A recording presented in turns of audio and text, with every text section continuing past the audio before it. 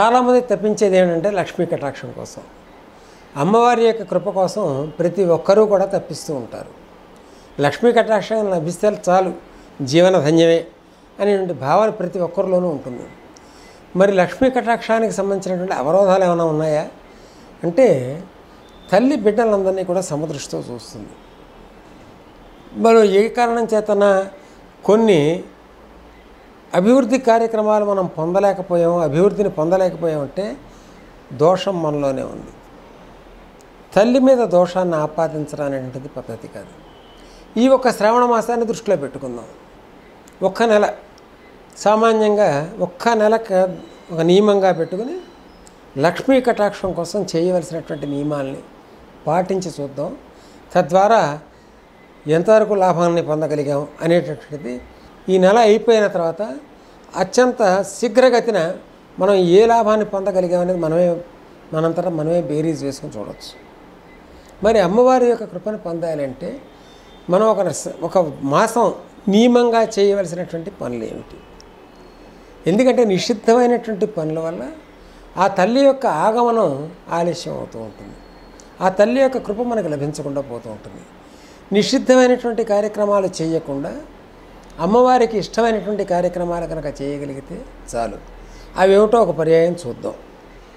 సూర్యోదయానికి ముందుగా నిద్ర లేవాలి. కష్టమే కొంత ఇబ్బందిగానే ఉంటుంది. రాత్రి పగళ్ళు పనిచేసినటువంటి వాళ్ళకి సూర్యోదయానికి ముందు లేవాలి అంటే కొంత అసౌకర్యంగా ఉన్నమాట వాస్తవం. కానీ లక్ష్మీ కటాక్షాన్ని ఎవరైతే అపేక్షిస్తారో శ్రమ సాధన. సాధన వలన పనులు సమకూరు ధరలో విశ్వదాభిరామ వినిరవేమ.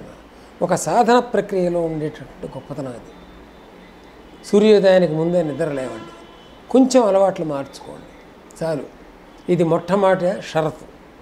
లక్ష్మీ కటాక్షానికి సంబంధించినటువంటి ప్రప్రథమంగా ఉండేటువంటి ఒక షరతు. రెండవది ముందుగా నిద్ర లేచిన తర్వాత ఇంటి వెనకాతల తలుపును ముందు తెరవండి. ఇంటి ముందు ఉన్నటువంటి తలుపును తర్వాత తెరవండి. ఈ రకంగా చేసినందువల్ల ఎంతో కొంత లాభం అనేటువంటిది అనుభవంలో చూస్తున్నటువంటిది. దీనికి సంబంధించినటువంటి శాస్త్ర ప్రామాణికమైనటువంటిది ఏదన్నా తెలియపరచాలి అంటే అది కొంచెం కష్టమే. అనుభవంలో చూస్తున్నది పెద్దల ద్వారా నేర్చుకున్నది తర్వాత ఇది వంశపారంపర్యంగా అనువంశికంగా చూస్తున్నటువంటిది. కాబట్టి ఇది రుజువర్తనంతో ఉన్నటువంటిది అనేది నిరాఖండంగా చెప్పగలిగేటటువంటిది. మంగళవారం శుక్రవారం నాడు పంచముఖ దీపాలను అలా వెలిగించండి. అంటే ఐదు రకాలైనటువంటి దీపాలు. ఐదు ఒత్తులు వేసి ఐదు ప్రమిదల్లో దీపాలు వెలిగించడం అనేది మంగళవారం శుక్రవారం. ఇది తప్పనిసరిగా చేయండి. కనీసం ఒక శ్రవణ మాసం చేసి చేరాలి ఇది. ఇంటికి ఎవరైనా కనుక ముత్తైదులు వచ్చినట్టయితే వాళ్ళకి పసుపు కుంకుమ ఇవ్వాలి పిల్లలు ఎక్కి రావాలి అని అనుకున్నటువంటి వాళ్ళకి శ్రావణ మాసం మాత్రమైన ఒక వరం. శనగల్ని నానబెట్టి శనగల వాయిన ఇవ్వండి. శనగలు ఎప్పుడూ కూడా దేవగురు అయినటువంటి బృహస్పతి యొక్క ధాన్యం. ఆయన పుత్రకారకుడు ధనకారకుడు. కాబట్టి శనగల వాయనం ఎప్పుడైతే ఇస్తామో పిల్లలు ఎక్కువ వస్తారు పుణ్యం కొద్ది పురుషుడు దానం కొద్ది బిడ్డలు. ఈ సామెతను గుర్తుపెట్టుకోవాలి మనం. ఒకవేళ కనుక ఏదైనా మన క్లేశాన్ని భరించరాని మన క్లేశాన్ని కనుక అనుభవిస్తున్నట్టయితే కొన్ని పసుపు కొమ్ములు ముందే తెప్పించి ఉంచుకొని ప్రతినిత్యం పసు ఇంటికి వచ్చిన ముత్తైదువులకి పసుపు కొమ్ములు దానం చేయండి. ఈ దానం చేసినందువల్ల ఆ జన్మకృత పాపానం అంటే ఈ జన్మలో కాకుండా అంతకు ముందు జన్మలో చేసినటువంటిది ఏదన్నా కనుక పాపం వల్ల పీడించబడుతున్నట్టయితే వాటి నుంచి నివృత్తి లభిస్తుంది. ఆరోది పౌర్ణమి రోజున సత్యవ్రతం కానీ సత్యనారాయణ స్వామి వారి వ్రతం కానీ అర్చన కానీ చేసినట్టయితే అది విశేషమైనటువంటి లాభాన్ని కలగజేస్తుంది. సత్యనారాయణ స్వామి వారి వ్రతంలో నవగ్రహారాధన ఉంటుంది. కాబట్టి నవగ్రహారాధన చేసినందువల్ల మనకి జన్మ అష్టమ అర్ధాష్టమ శని సంచరిత దోషాల నుంచి మనం బయటపడవచ్చు పాలతో చేసినటువంటి పాయసాన్ని నివేదనగా చేయాలి అమ్మవారికి. అవకాశం ఉంటే గజలక్ష్మి ప్రతిమని స్వర్ణలక్ష్మి కానీ గజలక్ష్మి ప్రతిమని కానీ మనం ఆరాధించినట్టయితే మంచిది. వెండి పాత్రలను ఏ పరిస్థితిలో కూడా దానంగా ఇవ్వకండి. ఎందుకంటే శ్రావణ మాసంలో అనేక రకాలైనటువంటి ఫంక్షన్స్ వస్తూ ఉంటాయి. ప్రతి ఇంట్లోనూ తెలిసిన వాళ్ళ ఇంట్లోనూ బంధువుల ఇంటికి వెళ్ళాల్సిన పరిస్థితి వస్తుంది. వెండిని మాత్రం దానం చేయొద్దు. శ్రవణ మాసంలో అభిలాష ఉండి చేసే శక్తి ఉంటే బంగారం ఇచ్చినా ఇబ్బంది లేదు.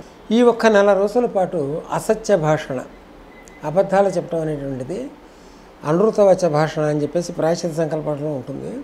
అటువంటిది కనుక ఒక్కసారి చేయకుండా కనుక ఒక నెల రోజులు కనుక అభ్యాసం కనుక చేసినట్లయితే అమ్మవారి యొక్క కృప తప్పనిసరిగా లభించి జీవనంలో ఆనందాన్ని మనం పొందగలిగే అవకాశం ఉంటుంది. ఇంట్లో వెంట్రుకలు కానీ చెత్త కానీ అపరిశుభ్రంగా ఉంచడం కానీ చేయకూడదు. వీటికి తగ్గటువంటి సురక్షితమైనటువంటి చక్కగా పరిశుభ్రంగా ఉంచేదానికి ఏదైతే అనువుగా ఉంటుందో వ్యక్తిగతంగా ఎవరికి వారు తెలుసుకోవాల్సినటువంటి విషయం ఆ రకమైనటువంటి సూచనలు కనుక పాటించినట్లయితే బాగుంటుంది. బయటికి వెళ్ళి ఇంట్లోకి వచ్చిన తర్వాత పాద ప్రక్షాళన. అంటే వెళ్ళి నేరుగా ఆ చెప్పుల కాళ్ళతోనే మంచాల మీద పడుకోవటం భోజనాలు చేయటం ఇత్యాదులన్నీ కూడా వర్జనీయం. అంటే చేయకూడదు. పాద ప్రక్షాళన చక్కగా శుభ్రంగా కడుక్కొని తర్వాత ఇంట్లో సంచరించాలి. ఈ రకంగా చేసినట్టయితే క్రిమికీటకాదుల యొక్క సంబంధించినటువంటి దోషాలు ఏమి ఉండకుండా ఉంటాయి. తల్లిదండ్రులను నిరాదరించేవానికి తప్పనిసరిగా లక్ష్మీ కటాక్షం జరగదు. అందువల్ల తల్లిదండ్రుల్ని అవకాశం ఉన్న మేర పూజ చేసినట్టయితే బాగుంటుంది. వారికి వస్త్రాలు ఇవ్వటం వాళ్ళని సంతోషపెట్టగలిగినటువంటి ఏ చిన్న కార్యక్రమం చేసినా శ్రవణ మాసంలో అత్యధికమైనటువంటి ఫలాన్ని మనం పొందగలిగే అవకాశం ఉంటుంది. తద్వారా లక్ష్మీ కటాక్షం. దైవనింద కానీ ఋషినింద కానీ మాతృనింద కానీ పితృనింద కానీ బంధునింద కానీ మిత్రనింద కానీ ఇటువంటివన్నీ కూడా ఈ నెల రోజులు చేయకుండా ఉండాలి. ఎవరిని నిందించకూడదు. అంటే తప్పులు చూసేటువంటి పరిస్థితి మన మనస్సుని కనుక తప్పులు చూసేటువంటి పరిస్థితి అంటే ఏది చూసినా కూడా నెగిటివ్గానే అటువంటి పరిస్థితి నుంచి మన మనసుని బయటపడేయాలి. నిందకు సంబంధించినటువంటి ఏ భాషని కూడా మనం ప్రయోగం చేయకూడదు. తర్వాత మరొక ముఖ్యమైనది ఏమంటే గోళ్ళు కొరకటం కానీ గోళ్ళని పళ్ళతో తీయటం కానీ చర్మాన్ని చేయటం కానీ ఇటువంటివన్నీ చేయకూడదు. ఇటువంటి ప్రత్యేకించి క్షురకర్మలు అంటే గడ్డం గీసుకోవటం ఇవన్నీ కూడా మంగళవారం శుక్రవారం ఈ రెండు రోజులు కూడా చేయకుండా ఉన్నటువంటి వారి ఇంట లక్ష్మీదేవి తాండవించడం అనేది మేము అనుభవంలో చూస్తున్నటువంటి విషయం. మరి అందరికీ ఇదే జరుగుతుందంటే ఎవరికి వారు ప్రయత్నం చేసి చూస్తే కానీ తెలిసే అవకాశం ఉండదు. కానీ రుజువుగా మాకు దొరికినటువంటి లభ్యమైనటువంటి సమాచారం మేము అనుభవంలో ఉన్నటువంటిది కాబట్టి ఇక్కడ ప్రస్తావన చేయటం జరుగుతుంది. ఏ కారణం చేత కూడా ఇంటికి వచ్చిన వాళ్ళని రిక్తహస్తాలతో బయటికి పంపద్దు.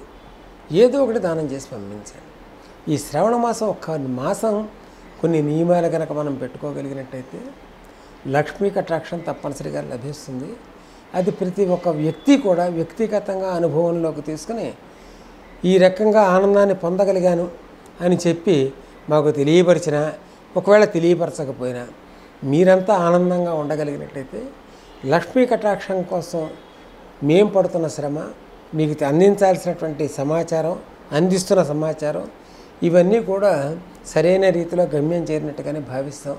మా జీవనం ధన్యమైందని చెప్పనే భావంతో మీ అందరికీ కూడా అమ్మవారి యొక్క కృప ప్ర- ప్రత్యేకించి శ్రావణ శోభతో ఉన్నటువంటి శ్రావణ లక్ష్మి అమ్మవారి యొక్క కృప లభించాలని చెప్పి ఆకాంక్షిస్తున్నాం.